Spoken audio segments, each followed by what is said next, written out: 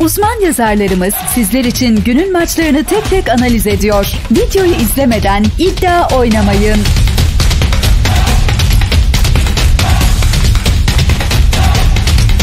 Fransa 1. Liginde Marsilya ile Auxerre karşıya karşıya geliyor. Karşılaşmayı değerlendirmeye ev sahibi Marsilya ile başlayalım. Son maçında Nantes'i deplasmanda 2-1 mağlup eden Marsilya 20 puanla ikinci sırada bulunuyor.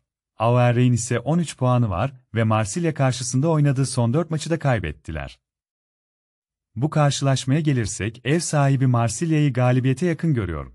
MS 11.25-22-45 Maçla ilgili senin de yorumun varsa yorumlarda sen de paylaş. Videomuzu beğenip kanalımıza abone olmayı unutmayınız.